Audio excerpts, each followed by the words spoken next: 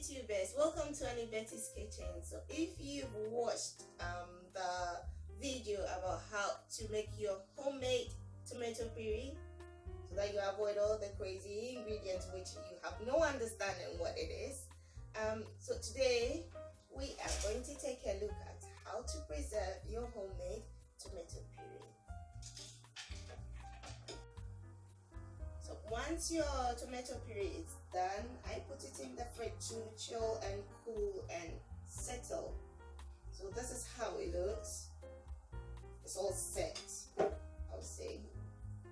So I use my ice cream scoop and I use my freezer bags just to make it airtight and in it goes I release it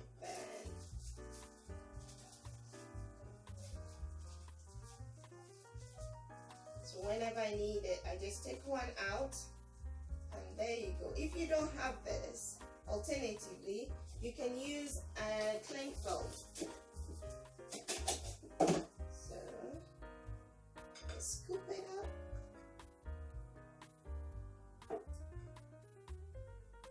There it goes.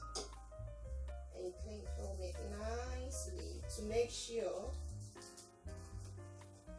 it's airtight don't get any freezer burns or all the flavors are not absorbed into your freezer and you freeze it and take it out as and when you need it. There you go.